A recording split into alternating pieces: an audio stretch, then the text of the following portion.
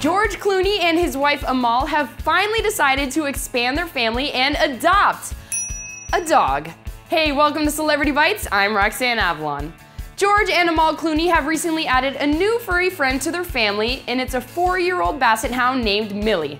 Now, the Clooneys were browsing the site Petfinder for basset hounds when they came across Millie, who was actually just living on the streets, a homeless little doggy, searching for scraps behind a local restaurant just one month before. So the Clooneys took their Cocker Spaniel Louie to go visit Millie, and apparently the two hit it off right away.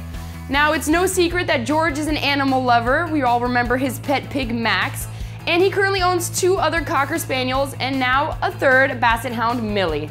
So I guess it's good news for Millie. She won't have to search for scraps anymore. From here on out, it's gonna be only gourmet food at Casa de Clooney. That's all for this episode of Celebrity Bites. I'm Roxanne Avalon, and we'll see you next time.